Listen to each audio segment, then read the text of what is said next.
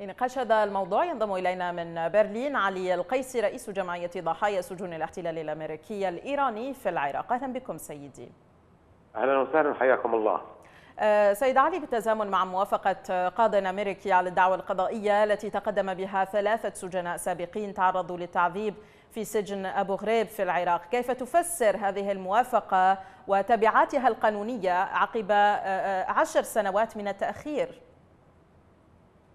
سيدتي الكريمة أولا هذا الإجراء يؤكد بأن هذه الدعاوى لا تسقط بالتقادم الجرائم اللي ارتكبت في العراق على يد الاحتلال الأمريكي ومن تبعه لا تسقط بالتقادم وأن لا يضيع حق وراءه مطالب. الأمر الآخر أن هذه المرة السادسة عشر اللي تتقدم بها دعوة ويقبلها قاضي فدرالي لكن يتم رفضها. آه سبق وأن رفعنا حوالي 250 دعوة في آه 258 دعوة بهذا الخصوص. آه للأسف آه شابتها آه يعني معرقلات و لأنه هذه الشركات لديها نفوذ كبير. نعم.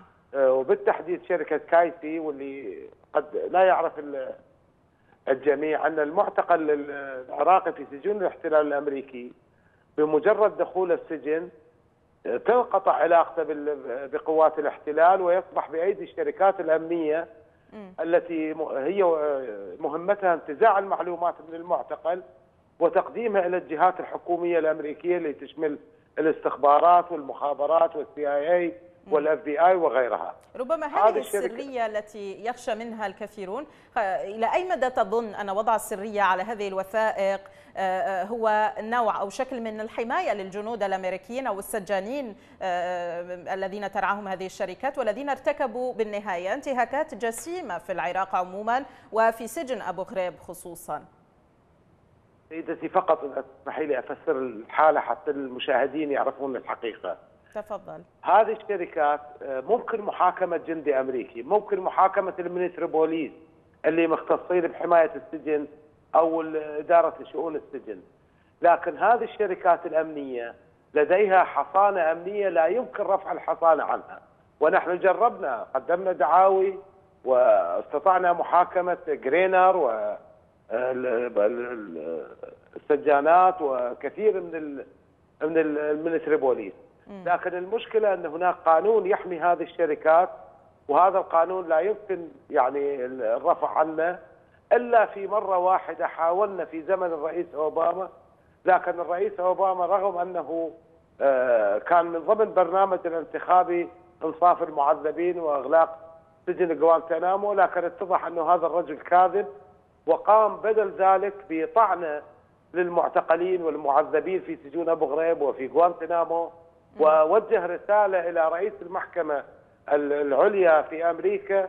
طلب منا إيقاف متابعة هذه القضية احتراما لمشاعر ضحايا الحادي عشر من سبتمبر. وهذه طبعا أضافت لنا كارثة. الأمر الآخر اللي أحب أوضحه نعم. أن هذه هناك 70 شخص من ال 258 شخص اللي قدمنا دعاوى لهم قبلت أيضا قضاياهم لدى المحكمة يعني قاضي فدرالي.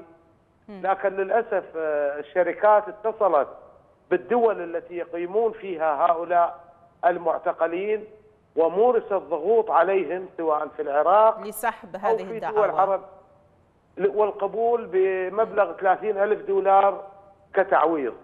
هذه الشركات وافقت على أن تدفع مع التأكيد أن شركة كايسي اللي يملكها آه، المجرم جون إسرائيل ومقرها في أمريكا وعنده مقر في بريطانيا الآن تعمل في الدول العربية آه، تحت اسم ال 3 مم. الآن غيرت اسمها إلى شركة ال 3 ولديها مقرات وتعمل في الدول العربية وتعمل في أكثر من 60 دولة نعم سيد علي في القيسي أكثر من 60 دولة في العالم. سيد علي انطلاقا من تجربة سجنكم شخصيا ووفقا نعم. للقانون الإنساني الدولي برأيكم ما الجدوى من استمرار سجناء أبو غريب ضحايا آه، هذه هذا السجن والتعذيب الذي شهدوه في هذا السجن استمرارهم في رفع دعاوى ضد الجنود الأمريكيين أو هذه الشركات حتى التي آه، الشركات الأمنية التي تسير هذه السجون؟ يجب يعني برنامج وسياسة ومنهج جمعيتنا هو إبقاء قضية معتقلي أبو غريب بالواجهة لأن أصل العنف وال وال وكل ما حدث في العراق سبب الانتهاكات الجسيمة على أيدي مجرمي قوات الاحتلال ومن والاهم. الأمر الآخر المهم أن هذه الشركات نعم الآن لديها حصانة لكن هناك قانون أمريكي الآن نحن نعمل عليه القانون تم سن في سنة 1951 يجرم الشركات التي تجني أرباح من عمل الشركات الأمنية والشركات العسكرية اللي تجني أرباح ويلزمها باستقطاع مبالغ تصل إلى أكثر من 60% من أرباحها تقدم كتعويض للناس الذين تضرروا سواء معتقلين أو غير معتقلين. مع التأكيد أن هذه الشركة شركة كايتي أو التري حاليا ربحت من العراق أكثر من 21 مليار دولار وبعد فضيحة سجن أبو غريب بشهر ونص تم تجديد العقد لها في العراق ولا زالت تعمل في العراق وفي ست دول عربية وأكثر من 60 دولة في العالم.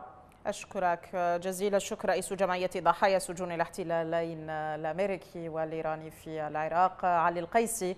كنت معنا عبر الهاتف مدينة برلين الألمانية.